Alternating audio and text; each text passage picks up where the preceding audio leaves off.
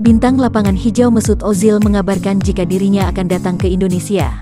Nama Mesut Ozil mungkin sudah tak asing bagi pecinta sepak bola seluruh dunia. Namanya begitu populer dan pernah bergabung dengan klub-klub sepak bola papan atas di dunia. Pemain sepak bola asal Jerman ini akan segera datang ke Indonesia. Kabar kedatangan Ozil tersebut disampaikan pemilik dari RANS Cilegon FC, Raffi Ahmad.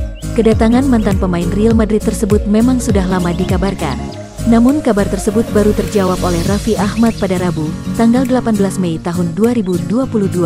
Suami Nagita Slavina ini membagikan video ucapan Ozil yang menyebutkan bakal menuju Indonesia. Namun, belum diketahui mengenai waktu kehadiran Mesut Ozil di Indonesia. Meskipun begitu, tentunya ungkapan Ozil soal rencananya datang ke Indonesia menjadi suatu kabar gembira.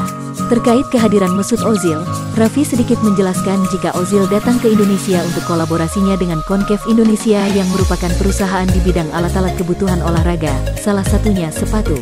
Raffi Ahmad mengatakan bahwa Mesut Ozil adalah kreatif direktor of Concave Asia. Selain itu, Raffi menyebut pihaknya akan memberikan dukungan penuh untuk kehadiran Ozil. Mesut Ozil memang sempat gencar dikaitkan dengan Raffi Ahmad dan RANS Cilegon FC. Ex-gelandang Real Madrid dan Arsenal itu bahkan pernah dirumorkan bakal diboyong Raffi Ahmad untuk bergabung ke RANS Cilegon FC sebagai rekrutan anyarnya.